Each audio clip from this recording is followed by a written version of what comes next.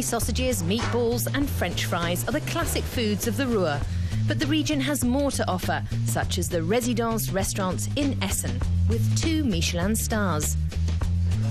One of the creations on the menu by chef Henri Bach is a rabbit stuller, which means sandwich in the local dialect. There's no cuisine typical of the Ruhr region. Instead, we've been influenced by many different immigrants to the area. So we just took a product that's typical of the region, rabbit. We've layered it in Italian bread, tramezzini, and seasoned it with a Middle Eastern blend of spices called baharat to create a multicultural dish.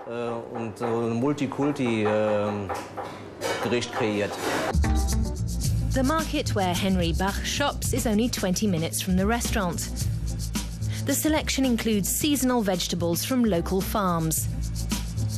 Like these broad beans, which Henri Bach will turn into a side dish. We all remember the way grandmother used to prepare them with their pods. And they're not so nice to eat, with a furry feel on the tongue. We'll cook them without the shell, in cream. It's an entirely different flavor experience. A lot of people who taste it say they're wonderful. The traditional dishes of the Ruhr are made with products that workers from the industrial region could grow themselves. Much of the local population also kept small animals for meat, such as rabbits and doves.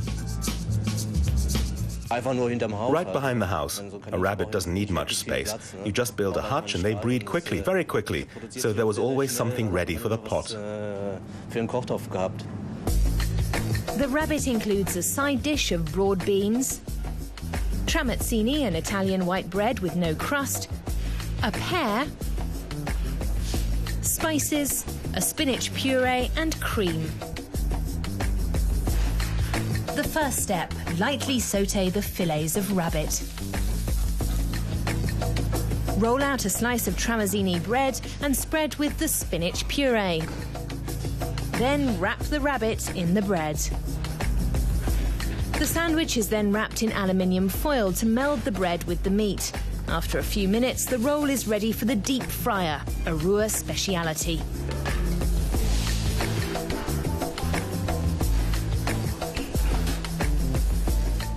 It's a classic method that's often misused when everything is tossed in fish, poultry, vegetables, all in the same oil.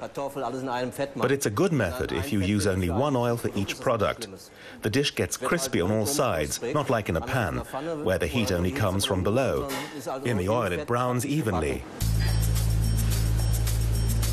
Once the sandwich is slightly golden on all sides, it's put in the oven to roast for six minutes at 180 degrees Celsius.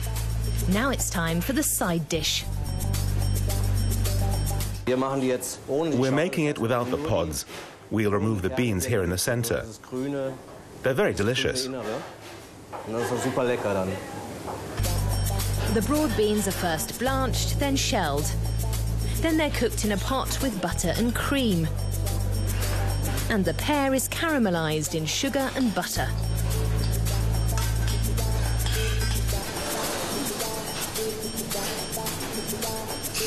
The dish is ready to serve. A rabbit sandwich with broad beans and pear.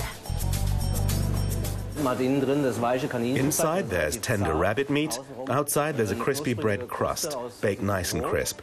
That's mixed with a slight earthiness of the beans and the sweetness of the pears. The ingenious combination of flavours is one of Henri Bach's specialities. Each meal at the Résidence offers something to surprise and delight, proving once again that the cuisine of the Ruhr is more than just sausages and fries.